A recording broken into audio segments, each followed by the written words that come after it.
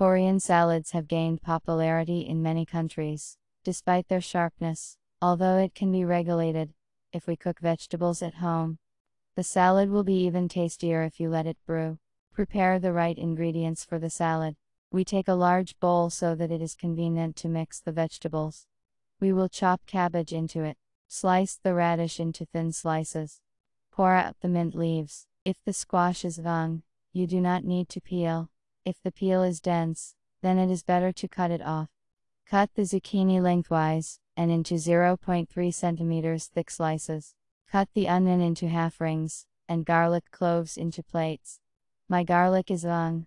I cut it together with the green part. Pour salt, sugar, soy sauce and vinegar into the salad.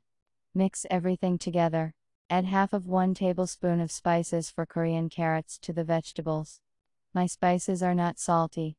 Mix it up, and send the second half of the seasoning to a frying pan with hot pepper and coriander. Heat a little in a frying pan, and pour in vegetable oil. Bring the oil to a boil. Pour it boiling into the salad. Mix the salad thoroughly, and put it in the refrigerator for at least one hour or better overnight. Bon appetit!